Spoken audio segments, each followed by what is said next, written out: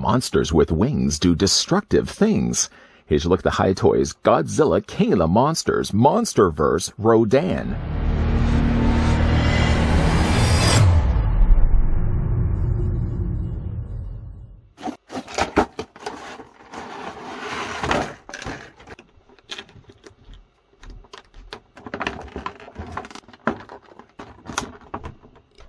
Its original and rightful rulers, the Titans, they are part of Earth's natural defense system, a way to protect the planet to maintain its balance, once again awaken a monster, but this time it can fly at supersonic speeds. Now Rodan from Godzilla, King of the Monsters from 2019, joins Hiya's exquisite basic line. Hiya Toys has focused on creating cost-effective and high-performance action figures for the exquisite basic series. Rodan has 15.74 inches wingspan with 16 points of articulation. The wings are made of PVC material and have wire inside that allows you to recreate the air poses. Just before we get down to look at Rodan, you may have already noticed that he's attached to his display stand. This is going to make things a lot easier when it comes to actually measuring off his wingspan. While I'm doing this as well, I'd like to thank the folks over at Hiya Toys that once again did provide this sample of Rodan from the exquisite basic line that we could have a look at in this review. Wingspan wise, you're looking at Rodan being 14 inches in width. That's pretty impressive. Or to flip that around, you're looking at it being about 36 centimeters wide it might be a little harder for comparisons while keeping him on a display stand, but here's what Rodan looks like at least along with Godzilla. This happens to be Godzilla from Godzilla vs. Kong, but it still fits the bill nicely of what one figure would look like with the other. And I don't think you would be able to really have Rodan perched in any other way than the display stand that comes included with the figure, and I'm fine for that. He's a flying figure after all, while Godzilla is going to be taking to the ground. Uh, Rodan, on the other hand, can be sailing the skies. Sailing the skies only really comes handy for the fact that the figure does come with a flight stand, which we can actually go ahead and take the figure off for right now. I'm going to put him right over here for a second. Technically, I suppose you could have him perched on his feet, but his feet really aren't strong enough to be able to hold the weight of the wings. But he does come included with this display stand. I'm going to go ahead and remove the neck for right now, just to show you here. It's a little hard once you get this plugged in place. I might even have to heat this up a little bit. I didn't even actually think it was going to be a harder than what it is. But you actually can see there's holes that, a total of nine holes, actually three, three, three. I just happen to plug it right in the middle. And then now again, I'm just having a harder time now to remove it. Yeah, I'm going to have to heat that up a little bit with hot water because again, I don't want to break the plastic. But you've got yourself a little knuckle joint there in the bottom of it. And then you've got a series of knuckle joints that follow after that. There's one there, of course, at the bottom, one in the middle, one at near the top, and then one closest to the top, right around the section that's going to clip around his waist. So I like the idea that you have adjustable display stands like this. And again, I would feel sort of robbed the fact that Rodan would have not come included with a flight stand. So I'm glad to see that Hiya Toys did include one. Not only did they include that, but they also included as well the eye brackets. We normally have seen eye brackets before when it came to the exquisite minis. The exquisite basics though also do have these little eye brackets. You can just clip them in the top you see there's little grooves here on the sides. You just simply attach them. And then you can take yourself multiple display stands. I'm indicating right now using invisible display stands, but you'll essentially be taking multiple display stands, attaching them all together, and you have yourself a larger diorama scene. So there, we're going to put that to the side. We're going to come back to that, obviously, because that's going to be the best way to displaying Rodan and picking up Rodan so you can get a closer look at this. Uh, head sculpt wise, I guess we'll start places first there. Head sculpt, I think it's a really good likeness of Rodan. Rodan's sort of a cross, I feel, between kind of like a hawk, a falcon, and maybe like a dragon. A head sculpt is really cool on this one. It's kind of a little harder to make out his beady little eyes, simply just how, how small they actually are. They're a little bit more coming across like a, a very dark copperish red.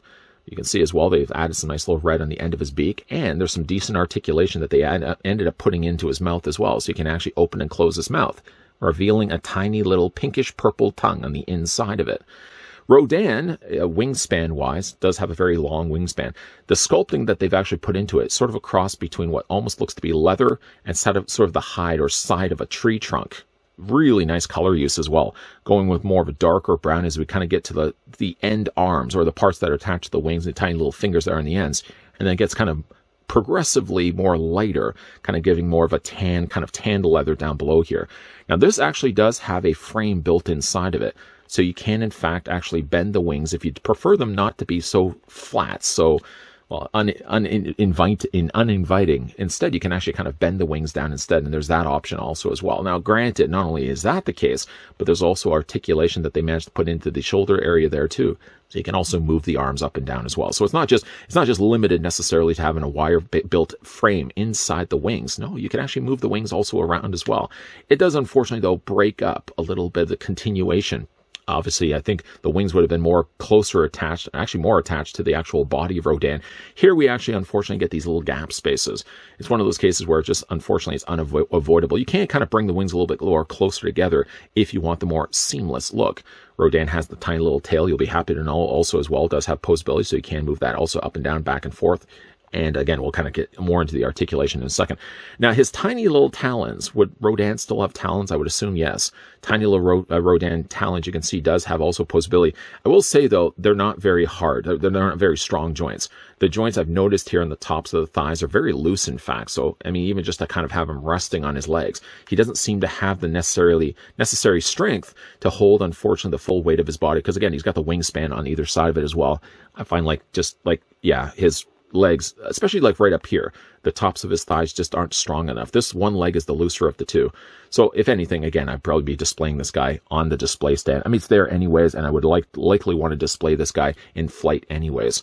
Sculpting wise, you can see a closer look at his chest, kind of keeps to more the darker coloring of the brown, but then you've got these nice little areas here where my guess is they probably would have taken this being the core basic coloring of the plastic, sort of this kind of caramel brown, and then they would have painted the color over top of it. Kind of does look a little bit like a face, doesn't it? Am I the only one that sees a face, eyes, nose, and sort of the mouth around the little abdomen area? But again, like there's all this cool articulation that they managed to put in there as well. I guess while we are on the topic of articulation, let's run through this as best we can. Okay, so like Rodan for his head, does have a ball joint here, so you can independently move his head from the rest of the neck. But then he also has a secondary neck joint that's a ball joint right there. Hopefully you guys are able to see that okay. So that does allow also the figure to be able to move this back and forth. You can also move it up and down as well. So between just those two things alone, there's a lot of real range of motion that you can actually display this guy. Now, again, like you can have him either flying this way or you can have him angled this way as well. We're going to kind of bring in the display stand here more, more in a moment. The upper torso is on a very generous ball joint, so it's very, very easy to move this figure. And I guess one thing by having the, the wings not being attached completely to his body and only attached up here, it doesn't limit any articulation when it comes to moving his body up and down this way. Uh, legs again are the only thing that's a little bit on the more looser side, sadly. Again, like the tops of his thigh are a little on the more looser side. You can move him back and forth this way. He does have also an independent knee articulating point, so you can also bend it right there and he does also have ball joints really at the as heels, so you can also rotate him back and forth this way as well. Tail articulation too, so you can rotate that. That seems to be once again relying on ball joints, and already mentioned he does seem to have ball joints also possessing there in the shoulders of his wings, with again a wireframe built in this leather-like wing circle. Oh, that's love the sculpting that they managed to put into that. Now, as for the display stand, I'm just going to bend the wings just a little bit because I don't really like the wings of Rodan to be completely flat. I like to bend them a little, just a little bit. For the display stand, we're going to bring this back in. The display stand I've noticed seems to attach the best just in front of his legs. I mean, again, you can bring this up so you can have him kind of resting again. If you try to put it behind his, which is really where I would have preferred to have it, you can still rest it, but it's actually just more of a balancing act than anything else. I've actually had Rodan falling a couple of times doing it this way. I find the easiest is actually just clipping it just just after his just after this section of his torso, clip it right there, and sort of just then wrap this around his body and then clamp it to the top here. And that seems to be the best place, the best job to hold everything on Rodan together. Just make sure I've got everything in place here the display stand does a well enough job of actually holding everything. And again, you can have him lowing down like this, kind of looking down on his prey below him, or you can also have this tilted back and have Rodan sort of more arched upward. Again, we just want to make sure his legs are completely out of the way of things. It's a nice looking figure. The only thing about it though is getting him onto the display stand isn't always the easiest thing to pull off simply just because he's got so much of a wing on either side of his body. Then again, just to get him perched, you have to kind of not only attach him onto the display stand, but hope he stays onto the display stand, which hopefully I'm actually, let's just bring his wings out just a little bit. There we go. Yeah, we want to basically get the waist clip kind of around this section right here, and then clip that around. But again, like just to get him to balance on there isn't always the easiest thing to pull off, and a lot of times you can kind of just bring the display stand a little further forward and kind of resting on there. I almost even wish that bringing this back in here for a second, that they also gave us maybe an option where instead of always relying on just being this being a waist clip, maybe if they had made a little ledge point like this, because I think the ledge of plastic would have also helped to kind of stabilize him. Because again, like when you see him clipping it around his torso as not as great of a job as I was hoping to do.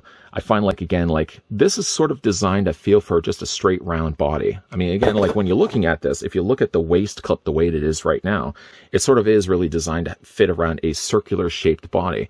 And I find it just doesn't fit as well around Rodan as I would hope. But again, we're going to go ahead just as, as best as, as best as we can get this, get this guy clipped, get the display stand clipped around his body at least wrap up the review. spin this around. Maybe we'll flip it around this way, get this around the figure's body. Yeah, the display stand is about the only thing I really would have fixed. There we go. Finally. And again, we don't really necessarily need these eye brackets. These eye brackets we can make use of if we happen to get ourselves another flying figure. Speaking of another flying figure, a segueing over away from this one, But we are also getting ourselves Mothra. Very excited to get ourselves get our hands on Mothra. A smaller figure, obviously, than the one we're going to be looking at here, the one that we have looked at here with Rodan. Uh, like the look of Rodan. The only thing I would say from Rodan's standpoint isn't necessarily the, the delivery of the figure, but the delivery of the means of actually getting this guy into a stance. So again, like just to spin this around quickly before we actually take to the turntable, you can see like it fits around his body okay but I feel like if anything, instead of using just a generically shaped, a one size fits all display stand, I think they should have really fit one designed one specifically to fit around Rodan's body, which isn't completely circular shaped. It's a little bit more kind of an off shaped body. I think they should have really made a waist clip to accommodate something like that. One thing I certainly will say is anyone that's looking to get into the reviewing space on this platform, you will always find that things never really work the way that you want in the review. And sometimes it does take you a little bit of time away from the camera to get everything sort of fixed up before you can kind of go back to look at it again. And the whole reasoning why I do bring all that up is in this review, of course, I did fumble a little bit to get Rodan attached onto his waist clip. Admittingly, the waist clip doesn't fit around his waist still as best as I would have hoped it does take a little bit of time. I took a little bit of time away from the camera to actually get him properly attached onto there. And also with the use of the additional knuckle joints that Hiya did put into there, four joints, four actual knuckle joints in the adjustable neck, you can actually get him to any desired look that you want. And he does actually hold the pose pretty good. I've got him actually a little bit further back and I've got his body a little more tilt forward. So it actually, in this case, looks like more Rodan is swooping down as opposed to sort of surveying the scenes below him.